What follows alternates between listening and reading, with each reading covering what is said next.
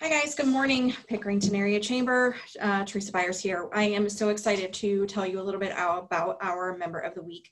We did not get a, um, a Zoom interview with them, but we did an in-person interview. And instead of trying to um, pare down a 20 minute conversation with our fabulous member of the week, I thought I would just jump on here and try to give you guys a quick overview. Um, once again, member of the week program is sponsored by MMA Insurance and Siebert and Reynolds CPAs. We thank them for their continued support of the chamber. Um, our member of the week for June 8th is Capitol Fence. So, a little bit of history about Capitol Fence. I had a great conversation with Robert Hulvey, who is one of the owners. Um, fantastic gentleman. Um, we had a great conversation. So, Capitol Fence was started in 1954, but Robert bought the business in 1980. So he has been running this business for 40 years. Um, he has such a great history. Um, his previous background, he was in finance and insurance, and he was also in the Navy. So just a great person in general. Um, he is a 30 plus year member of the Pickerington Lions Club. Um, just a great, great, great person. We had such a fun um, time chatting, and he shared so many great stories with me. So I wanted to tell you guys um, a little bit about their company.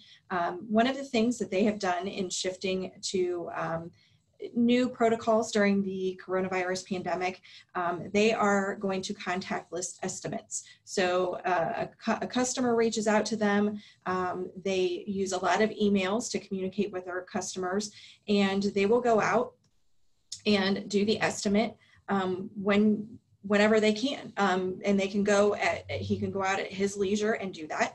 Um, he is the one, Robert is the one who does all of the estimates, puts the layouts together, orders the material, um, gets the job ready to be run. They have about four to eight employees, um, depending on the project, obviously. They have a great foreman who runs their jobs and, and helps them to get those employees. Um, one of the challenges that he mentioned that they're facing right now is shortage on equipment um, and the supplies that they need to build the fencing. Um, apparently, um, because of uh, coronavirus, the loggers have been laid off, and so access to um, the actual materials that they use has been very, very difficult. And they've seen a huge increase. In fact, he said there's been seven increases in pricing um, for the product that they are getting to to provide um, for their for their jobs. Um, just a great a great company. Um, such a great conversation. I, I, hope you can see my excitement in this. It was it was a lot of fun. Um, one of the things that really sets them apart is their personal service and their personal touch. Um, they are going to go out and fix whatever issue is it, that needs to be done. And you know, it could be a year later, and your um, gate has you know uh, worked itself loose or you have a board that has warped or you know something that has happened um, and they are more than happy to come out and, and continue to help they serve um, the community within a 50 mile radius of pickerington um, previously they were located in the bexley whitehall-ish area so um, they have a lot of opportunity um, and a lot of um, customers around the central Ohio region. Um, and one of the things that Robert shared with me, which I thought was really cool, is I asked him, you know, what makes Pickerington and the Columbus region a great place to do business? And he said that diversity of the community is really what makes it a great place.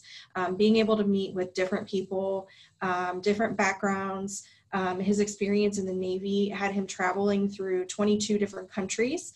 Um, he said he's visited 28 states um, in the US and um, just a really, really great opportunity. Um, so the diversity of the community is the thing that makes um, Pickerington and the Columbus region a great place to do business. So just wanted to share you guys a little bit about my interview one-on-one with Capitol Fence, Robert Hulvey, the owner. Um, they've been around since 1954. He's been the owner since 1980, and they are our member of the week for June 8th. Once again, want to say congratulations to them. Um, we are so excited to have them as a member and thank you again to MMA Insurance and Siebert and Reynolds for continuing your sponsorship.